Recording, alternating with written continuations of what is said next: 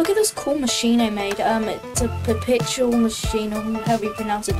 It's pretty cool. It shoots items in the air. It's just, look at it. It's pretty cool.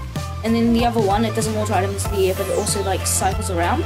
If I get, um, let's say 12 likes, I'll make a tutorial on it. I'll show you how to make both of them.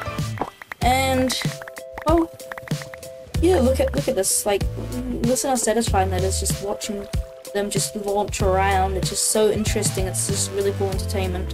So I'm just gonna throw a bunch of more items in because why not? And they didn't. Any none of them got in. Well, good thing I put the dispenser here, so I can just launch them out like this.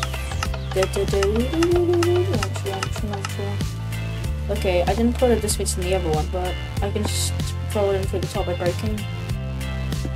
Let's get some bees. Bunch of bees in there. I don't know why, but I want to put bees in, in the machine. Imagine if they spawned when they're moving around, that'd be funny. Okay, now maybe I should put it in the other one.